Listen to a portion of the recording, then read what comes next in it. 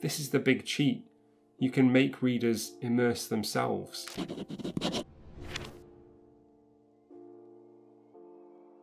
I want to talk about how to make your writing immersive because I don't think there's any greater compliment that a writer can receive than I got totally lost in your book. That's definitely the effect that I aim for when I'm writing stories. I want readers to feel like the world's closed off a little bit. And then when they finish reading, I want them to have that weird feeling like when you leave the cinema and it feels strange that it's still light outside. But how do you do that? A lot of it, I think, is indefinable writing magic, but I do have a few practical tips, things that work for me, so let's talk about them. So, something I think that people often expect is that detail is what creates immersion. You know, give people as much information as you can about your story so that the image that they formulate in their mind's eye about it is as rich and detailed as possible.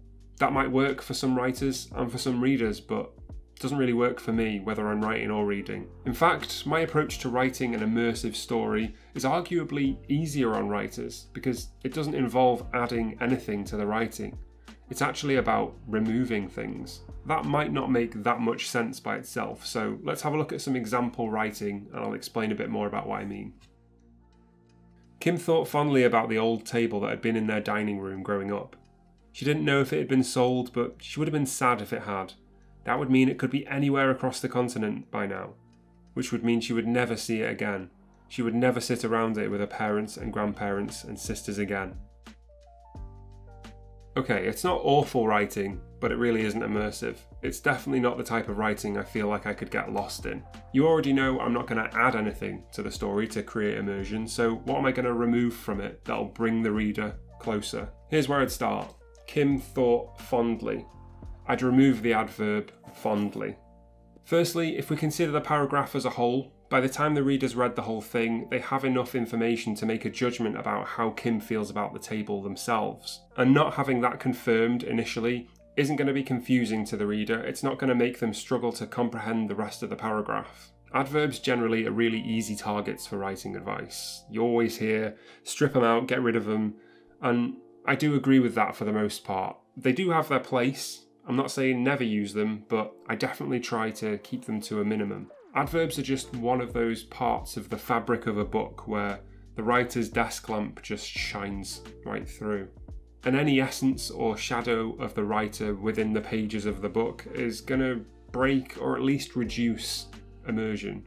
It's like we're sitting right next to a reader while they read. When this happens to me, I feel more aware that I'm reading a book and I feel as though someone is guiding me through it.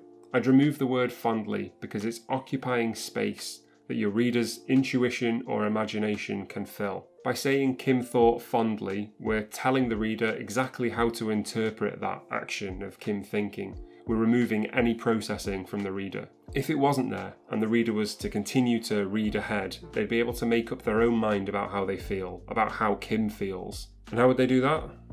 By being a person, by even subconsciously placing themselves in Kim's situation based on events or experiences from their own life. And they might not even have an exact name for that feeling, even if they've had it themselves, because feelings are indescribable. So to just say fondly, as is the case with all words, doesn't do that feeling justice because it's never going to reproduce it in the same way that our minds and our experiences can.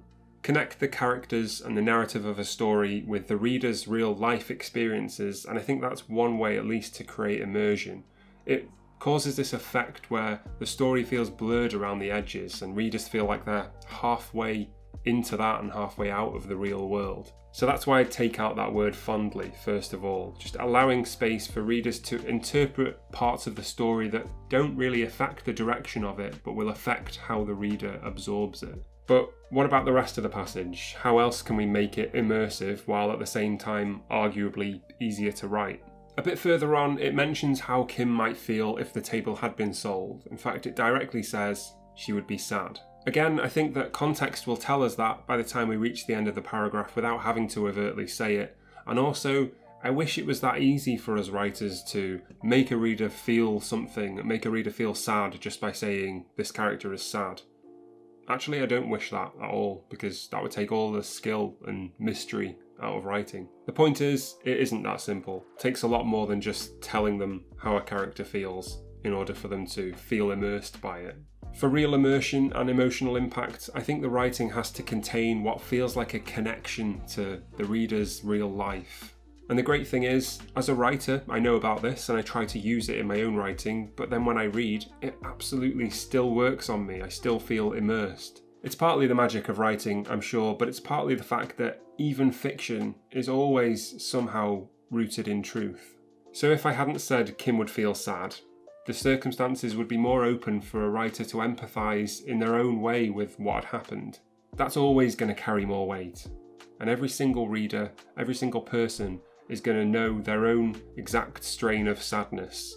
And it's going to be way easier for them to find themselves immersed in that than just the word sad. But there's one more thing I'd do to this paragraph to try to increase the potential for immersion. I'd remove the part specifying that she wouldn't see the table again. And there's a really specific reason I'd do that. And when I figured out something was wrong with it and that it didn't feel immersive, it felt like something clicked for me. I think what stood out in a bad way about this is that even though it's a hypothetical, she doesn't know yet if the table's even been sold. It's still written in a way that feels like all of that has already been decided. And it feels like that's what the writer thinks happened. It feels like the writer's saying, if this were to happen, and it did by the way, this is how she would feel about it. This exact way is how she would feel about it. Just so you know, this is the answer. And that just makes it feel like the story's really closed off and it denies the reader an opportunity to imagine for themselves. It's the writer writing ahead into the future, sewing up a loose end that doesn't need to be sewn up. It feels like it, an overextension of the writer's influence. If we want a story to feel immersive at all, then a reader has to be able to feel involved in some way and not just a passive observer. We do that by letting them create parts of the story for themselves, how they see it, and deprioritizing what we see as a writer. Those phrases that I removed are directions, really, and not directions for the story, they're directions for the reader. But readers are willful, they're going to read a story however they want. And I think the best thing to do is to step back as writers and let them do that so that they can find ways to relate to our story. That's what's going to lead them to feel immersed in it. When I read a story that's really specific and concrete and nothing's up for debate, I find there's only so much I can relate to the characters and only so much interest I'll have in the story, and definitely only so much immersion I'll feel. It's like I can feel the author standing over my shoulder, guiding me to exactly what they want me to see. It's like being marched around a museum and told only to look at certain points it's just not conducive to the way every reader is going to read your story and how every reader is going to try to enjoy it in their own way. And of course, I started off by writing like that. I think most people do. And if you read that paragraph and you did feel immersed by it, or you would feel immersed by a longer story told in that way, then that's absolutely fine. There is no I'm right and you're wrong here. I'm just talking preference. Your opinion and how you write and how you read is totally valid, whatever the case, and it's okay that we disagree. But if you didn't really feel immersed by that paragraph and it didn't really have much of an effect on you, here's the paragraph with all of those bits stripped out. I think it's more immersive, but you can decide for yourself. Kim thought about the old table that had been in their dining room growing up. It had probably been sold now to some other family in some other place. They'd probably never sit around it all together again. With this version, I haven't told you as readers how to feel but I think there's still as much sadness and loss and nostalgia as there was before, if not more. There's less certainty, fewer facts, and more room for interpretation. I think this makes Kim's thoughts feel a bit more private, as though they're a window into something that's a bit more personal than just being told she feels sad or she thought fondly. This is one of those concepts that's really hard to explain well, I think, and of course, like all things writing, it won't apply to every story and every reader, and nor should it. But this is definitely the way I like to write. I like to prioritise the story and not what I want readers to think about it.